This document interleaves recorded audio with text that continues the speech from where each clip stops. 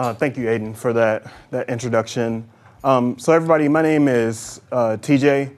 Um, you can call me TJ Johnson. You can call me Wordplay TJ, whatever you'd like.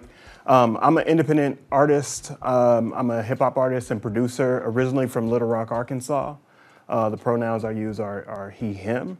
And for the last 15 years, I've been an independent musician, just working and making my way through um, the music industry and navigating what it looks like to be an independent musician um, in, um, in the industry. So my first foray into, um, into making music and public notoriety was my song Breakfast and Biggie.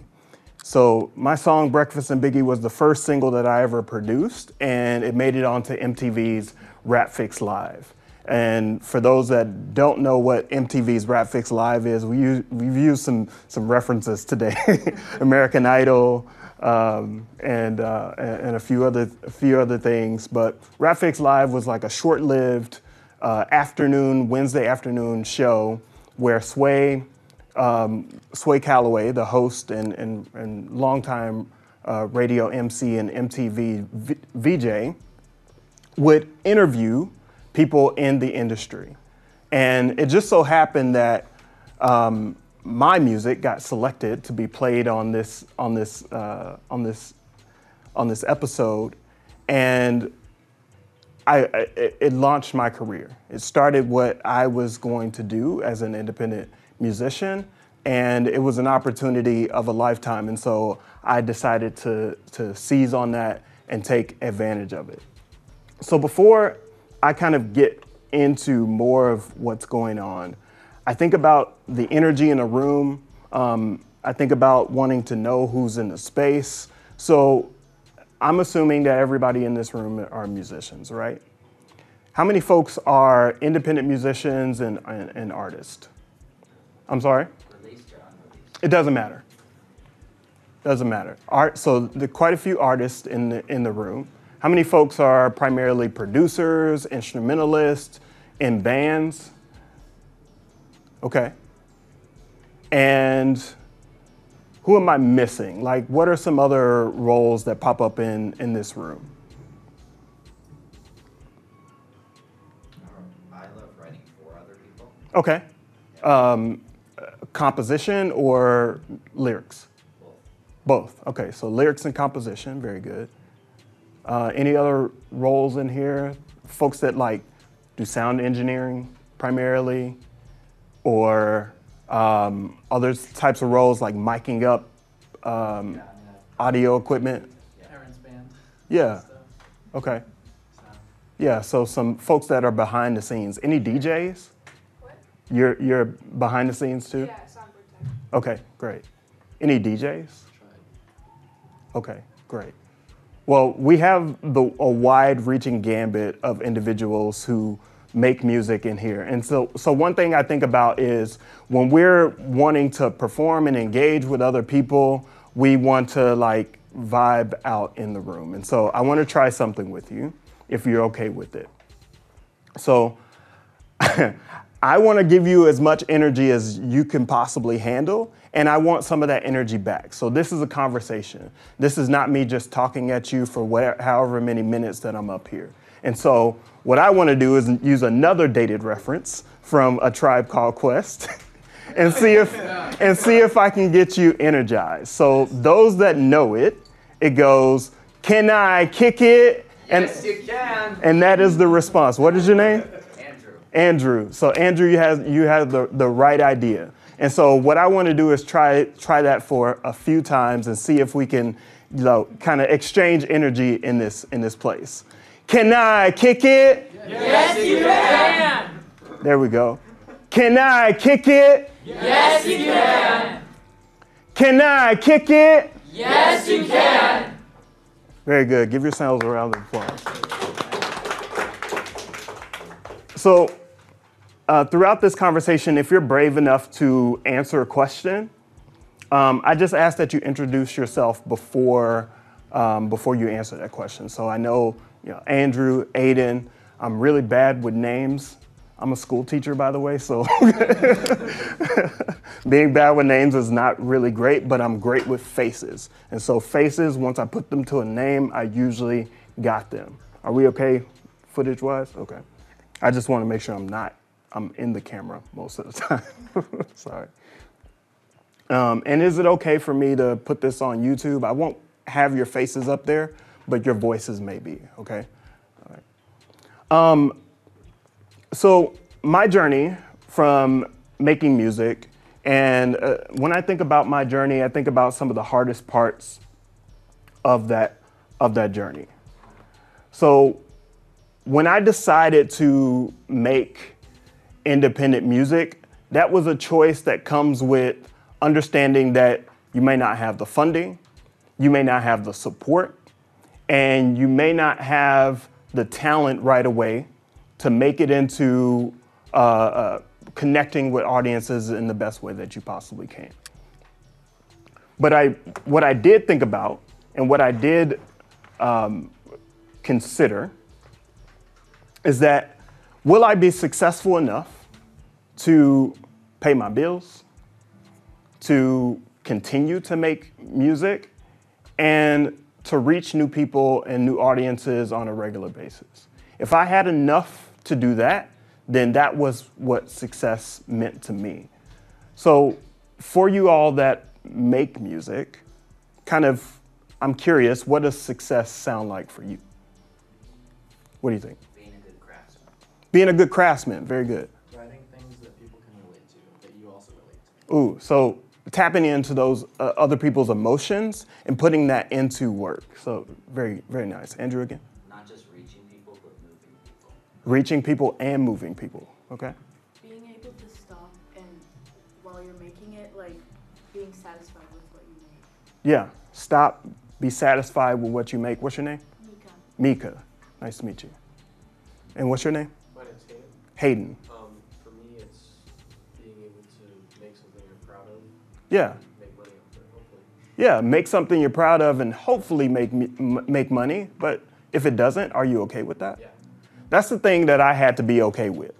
I had to be okay with whether I made a dime or whether I didn't. I continued to pursue music as as an endeavor. I didn't let the lack of having funds or the lack of revenue from from my music deter me from continuing to create. It's a lifelong pursuit and it's a dedicated journey. And so uh, I, I talked about what success means to me. Success also means to me that I'm to do this until I make it to the grave. As, as dark as that sounds, I'm to do this for life. And that means if I'm rapping on, on my deathbed and I have to spit a few bars, I'm to call him up and we're, and, and we're to and we're to make it happen. And so when thinking about that, um, I think, let me see. I think about four rules to making it in the music business. And as I go through these four rules, I'm gonna try to split my screen really quick because I wanna be able to see my notes, but also do this. Cerny asked me to do this like today. so I wanted to, I, I wanted to make that happen. So the first rule is to be unfazed and unbothered. So my fingers are in my ears because, not because I don't want to be good at my craft, not because I don't want to make good stuff. It's because I can't listen to all the noise while I'm trying to make it. I also can't listen to the noise while I'm trying to put it out. Because what does that do to you emotionally? Blocks you. Anybody read the comment sections ever? On it's a good idea not to. Don't um, But when you do, and you get that negative comment, how does that feel? Horrible. How else does it feel? uninspiring. Uninspiring. Anything else? Discouraging. Discouraging. So why would you want to put any of that energy back into your music, right? You don't want people to lie to you, but you do want to be uh, uplifted. And so what I know about independent music is that 20, per- uh, sorry, 80% of my revenue is going to come from 20% of my fan base. So, those folks that truly care sign up to my email list, buy an album from Bandcamp, um, stream me on the regular basis without me asking them to do so, and uh, push my music to other people. Those are the 20% of my audience. Everybody else are they're, they're passive listeners. They're not necessarily going to continue to listen to me, but I still want to make music for all of those folks. The next rule is to share your stuff consistently. And so, over the past 15 years, I've made nine albums independently. I've put out more than 150 different songs um, and, and, and assets that I, that I have. Why do you think like this consistency is important? What do you think, Andrew? Yeah. Yeah, you need to like keep working that muscle and, and, and work out. If you if you don't work out, you don't walk around and move your body, you're gonna like end up hurting yourself. Uh, I'm Shay, by the way. Shay, okay. Um, and you never know when anyone's gonna find it. Yeah. So you might as well have background. Yeah, you never know whenever a- a- anybody's gonna discover your music. Um, ah, there's a, Shab- I can't remember this artist's name. He's a newer artist that I've heard of called Shabui or, or something like that. Is that the right? Yeah, something like that. Yeah, something like that. Shaboozey. So he so he put out a song. I think it was like five or six years ago, and now in 2024, it's it's on the the Billboard charts. So you never know when these assets, these things that you hold, these things that you've created, are gonna blow up and make you successful. The next thing is invest in yourself. Does anybody know who this guy is? Who knows this person? Anybody heard of um, Outkast? Yeah. You know the song uh, "The Whole World" by Outkast. So he's on the last verse of that song. Um, anybody know um, Run the Jewels? That group, right? So he's co-partner in in Run the Jewels. He's the he's the rapper. The other person's a rapper and a producer. Um, but this is Killer Mike. Michael Render is his name. He's from Atlanta, and he's been around in the music industry since Outkast came out in the 90s. So in the 2000s, he got he jumped on the whole world, and that was his first Grammy win. And since then, he's been making music independently, whether it be with Run, Run the Jewels or independent music by himself, and has just recently won three Grammys last year for his uh, self titled album, Michael. So, the one thing that inspires me about Killer Mike is that, you know, people are not necessarily going to believe in your talent, but you have to be able to invest in yourself. And not just for one year, but for multiple years. He's been doing this for since I was a child. So for over 20 years, he's been working in the music industry and he finally has those Grammys of his own. And the last thing is don't forget, don't be afraid to pivot. So anybody know who this guy is? It's his guy, this guy's favorite rapper.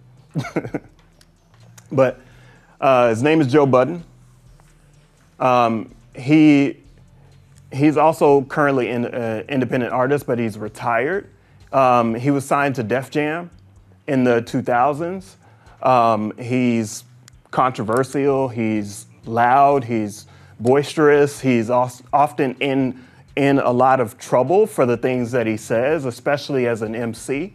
But he's a great rapper, and he's a part of um, the the former group called Slaughterhouse that was signed to Shady Records. Instead of continuing to like bump his head against the wall in, in the music business, he pivoted and created a podcast. So myself and Icarus Gray, this is one of my my co-hosts on our podcast. He, we do a podcast called No Rhyme or Reason, and instead of being stagnant in the music business, we pivoted because we know that today uh, musicians not only have to be musicians, we have to be content creators. We have to put ourselves out there, out there on Instagram, on Snapchat, on, uh, on YouTube, on every other platform that exists out there, and we can't be, we can't keep ourselves hidden behind the scenes. And when I wake up, take me home now. Uh. Every day I'm staring at the phone now. Yeah. Okay. Three months gone, hanging on messages. And only adults know what the